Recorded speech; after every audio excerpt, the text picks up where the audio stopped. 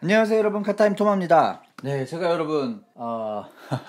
꿈속에서 어떤 분을 만났는데 예, 이분이 쌍용 제 입에 실내를 보여주시더라고요. 이 뭔 개소리야! 그래가지고 아, 쌍용 제 입에 실내를 좀 보게 됐습니다. 또 다들 아시다시피 지금 이 부분에 대해서는 아직 온라인을 통해서도 공개된 게 없죠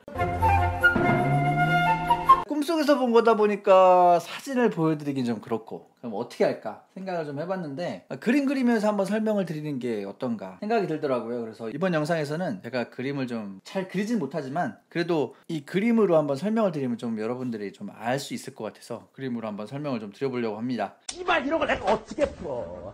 나 안 풀어. 차는 유리가 있고 유리가 있죠. 유리. 유리. 유리 부분이 있습니다 전면 유리 그리고 이 경계선에서 패널이 쭉 있잖아요 이 crash 패널이라고 하나요 뭔지 알죠 이제 입체적으로 보자면 여기 이렇게 들어가 있잖아요 이렇게 해가지고 여기 위에 뭐 또 올려놓고 뭐 또 올려 그런 분들도 계시고 하여튼 뭔지 아시죠 이렇게, 이렇게 튀어나와 있는 겁니다 네, 이렇게 돼 있고 이 끝 부분에서 한번 음각이 쓱 져요. 음각이 여기까지 음각이 쫙 져요. 음각이. 음각이 지고 요 음각 사이에는 크롬 라인이 이렇게 들어가 있더라고요. 이게 운전석까지 동일하게 네, 이 라인이 딱 있습니다. 이 패널이 똑같아요. 그리고 여기 음각 진 부분에서 이렇게 이렇게 튀어나오는 형식으로 또 이렇게 계단이 하나가 있어요. 계단이 하나가 있고 그 밑으로는 음각은 아닌데 살짝 안쪽으로 들어가는 또 라인 또 하나가 있어요. 되게 입체적이죠. 그리고 정말 독특하게도 여기에 여기 이제 보조석 앞쪽으로 송풍구가 있습니다. 이 부분은 정말 독특하죠. 송풍구가 이제 아, 직사각형 형태로 여기 위에 하나 뚫려 있고 밑에 하나 뚫려 있고 이렇게 돼 있어요. 보통 이 끝에 있잖아요. 근데 여기 있습니다. 그리고 이 밑으로는 뭔지 아시죠? 음, 대시보드 수납함 네, 수납함이 아마 이렇게 열리는 형태인 것 같고요. 쫙쫙 직선이 좌우로 쫙쫙 퍼져 이게 몇 줄이 쭉쭉쭉 가 있으니까 좀 와이드한 느낌이 들 것 같더라고요.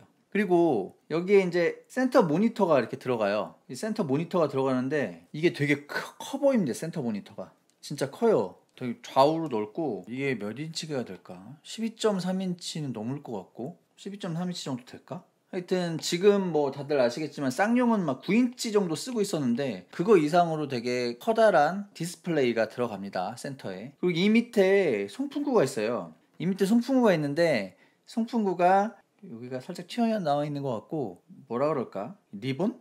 기다란 리본? 그런 형태로 형태가 그렇게 돼 있어요 그리고 여기 이제 이게 이제 플라스틱 패널인 것 같은데 아까 말씀드렸듯이 살짝 튀어나와 있는 느낌이고요 그리고 여기에 가운데에 뭔지 아시죠? 비상등, 비상 깜빡이 버튼이 존재합니다. 그리고 좌우로 길게 이렇게 돼 있어요. 송풍구도 돼 있고 이 밑으로 예, 이게 공조 버튼 영역인데 여기가 다 터치 스크린으로 돼 있어요. LED는 아닌 것 같고요. LCD 같아요. 이제 광원이 LED 같으면은 이게 검은색 화면은 검은색으로 보인다면서요. 근데 지금 이걸 보면은 검은색 화면에 여기 의자도 있고 그 온도 뭐 이런 게 있는데 여기 이제 배경이 검은색인데 검은색으로 안 보이고 살짝 이렇게 빛이 보이거든요. 그러니까 LCD 패널인 것 같아요. 그리고 여기로 양 옆으로 크롬으로 돼 있어요. 크롬 장식이 돼 있고 그리고 여기가 유려하게 유선형으로 꺾이는 게 아니고 직선으로 센터 콘솔 부 분이 이렇게 그냥 바로 쭉쭉 쭉쭉 이어집니다. 직선으로.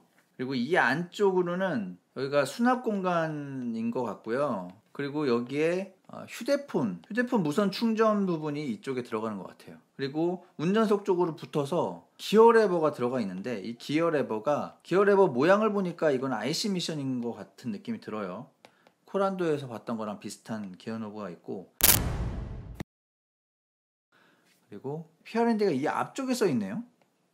이것도 좀 독특하죠. 옆에 써 있는 게 아니고 이 앞으로 들어가 있어요. 저 앞으로.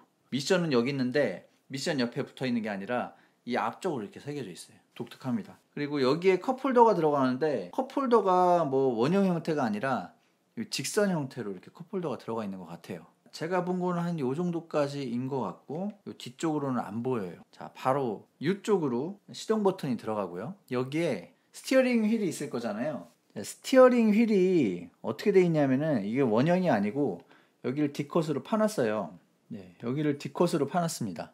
D컷으로 파놨고 그리고 상단이 원형이 아니고 상단이 이렇게 좀 타원형이라 그래야 되나? 상단을 이렇게 이어놨어요. 약간 납작하게. 그래서 위에도 잡을 수 있고 아래도 잡을 수 있고. 그러니까 이 컷을 위 아래에 준 것 같은데 위는 좀 만만하게 줬고 그리고 여기는 동글동글하게 어, 예상도 보니까 어떤 예상도 그 거긴 팔각이 들어갈 수 있다라고 이렇게 해- 돼 있는데 팔각 아니고 예, 약간 타원형 비슷하게 돼 있습니다. 그리고 뭐 여기 요게 버튼 버튼 부분이 여기 있고 보니까 요 크루즈 컨트롤 버튼도 있고 차선 차와 차간 간격 있잖아요. 차간 간격 유지 버튼도 있어요. 이런 걸 보니까 그 아마도 렉스턴에 들어갔던 2.5 레벨 2.5 레벨의 반자율 주행 시스템이 이번 J100에도 들어가는 것 같습니다. 반자율 주행 시스템이 J100에도 들어가는 것 같아요. 그리고 horn cap이 이렇게 돼 있고 여기 저 스포크가 이렇게 돼 있는 거 이거 아시죠? 이렇게 그러니까 스포크가 하나 둘 셋 넷 그러니까 4스포크 휠이죠.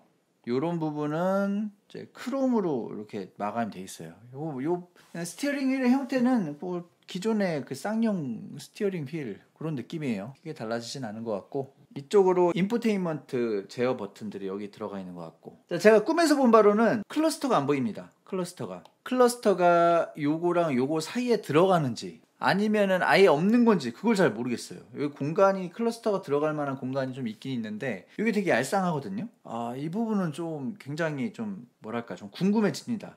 아, 이 커다란 센터 디스플레이에서 마치 테슬라처럼 뭐 모든 걸 다 보여줄 건지 저는 사실 파노라마 디스플레이가 들어갈 거라고 생각을 했었는데 그거 아닙니다. 파노라마 디스플레이는 아닌 것 같고요. 그래서 제가 본 거는 이 정도까지예요. 여러분들 어떠, 어떻게 보시나요? 요, 좀 이렇게 보시면 좀 느낌이 오실라나? 곡선이 없어요. 스티어링 휠 말고는 여기가 약간 이렇게 돼 있는 거 말고는 다 직선입니다. 직선. 여기 심지어 여기까지 다 직선이고 어, 이런 컵홀더. 아 그리고 여기도 이 도어 패널이 보이는데 도어 패널 이쪽에서 그 컵홀더 있잖아요. 여기도 네모네모네요. 원형이 아니고 네모나게 돼 있어요. 이 포켓도 도어 포켓도 그렇게 돼 있고 이쪽에 이제 뭐 door catch 같은 것도 네모네모하고 이 다들 직선을 많이 사용했다는 게 이번 J백의 실내 디자인의 특징 같습니다. 자 여기까지 하겠고요. 여러분들 어떻게 좀좀 보이시나요? 좀 어떻게 좀, 좀 그림을 너무 못 그려가지고 영상 여기까지 하겠습니다. 도움 되셨다면 구독과 좋아요 부탁드릴게요. 시청 감사합니다.